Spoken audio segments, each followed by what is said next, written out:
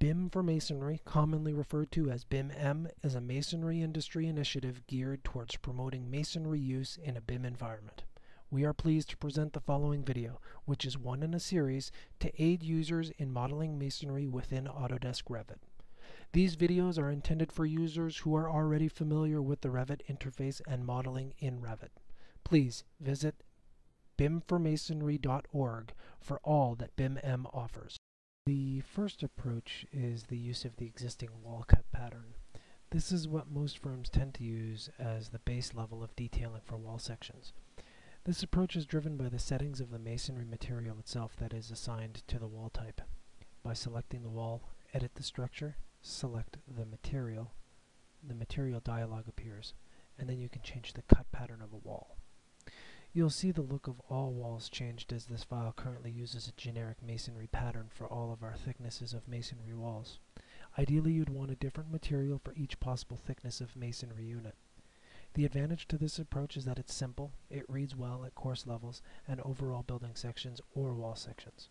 The disadvantage is that it's not very graphically informative in regards to the use of masonry units and its coursing. The second approach uses detail components overlaid on top of the wall sections. In this case, the best approach is to have a repeating detail component or a line-based detail component with instance-based arrays set to it. We tend to keep a large selection of pre-made detail components handy for this kind of usage. Select your detail component, create similar, go to the wall section, and draw your components over the wall section. The advantage to this approach is its simplicity. It also allows you to use it when you really need it and not apply them in larger overall building sections. The disadvantage is that it's not automatic. The user is left with the decision as to when to apply this level of detail and then apply it manually. Our third approach to graphical sections is the use of splitting the composition of the wall assembly itself. Select the wall edit type, edit structure,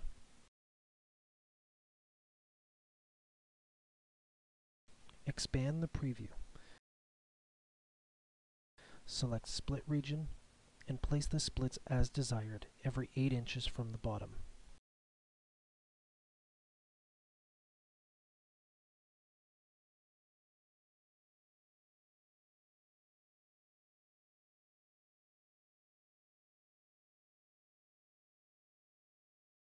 Click OK twice.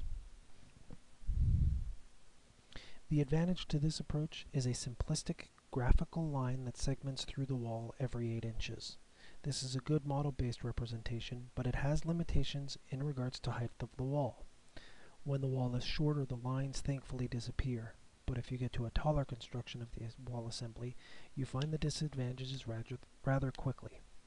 Another disadvantage is the lack of detail level to this approach. On enlarged sections, a user would still be inclined to wanting to detail components to display further information of the masonry units.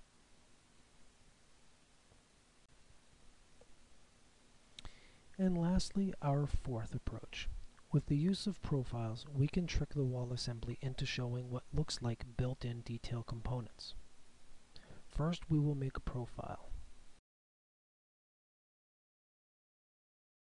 We will also open the detail component of a section of masonry.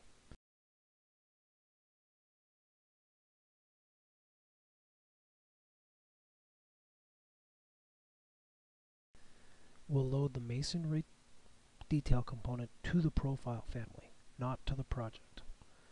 We'll make a single profile that is essential for the core opening.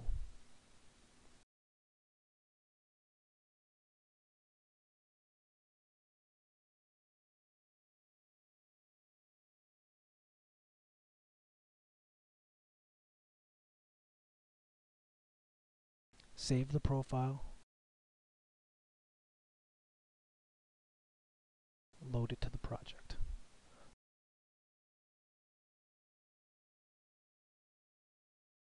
Once you're in the project, select the wall, edit the type. Edit structure.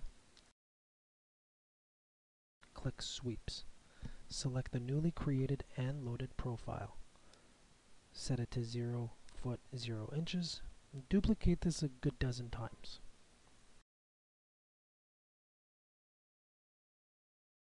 Go back and change the distances from to 8 inches, 16 inches, 24 inches, 32 inches, and so on.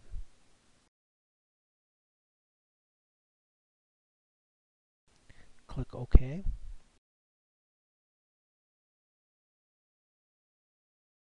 And zoom in, you will see what looks like just the detail components we've been using in the second approach. The advantage to this approach is a quickly detailed wall with a high level of information. There's little thought put into it by the end user at this point. The advantage to this approach is that the walls will always be at this high of a level of detail, meaning a overall building section might encounter wall sections that look busy, cluttered, or muddied, withdrawing information that just isn't needed at that level. The second big disadvantage to this approach is that the walls now have sweeps built into them. When hovering over a wall with these sweeps, a user will see a confusing amount of line work that is technically hidden inside of the wall. Additionally, if they pull those sweeps back for some reason, the detail component will no longer show in the sections affected by the sweep. In conclusion, the approach that best suits your firm's needs may be different based on the amount of information you're looking to convey. Personally, we enjoy having a generic looking section that can be overlaid with detail components on a per needed basis. This is a lightweight approach that gives us the most flexibility based on the scales of drawings. On behalf of the BIMformasonry.org team, we hope that you've enjoyed our video on wall section detailing and that this helps you learn how to leverage Revit for your personal needs.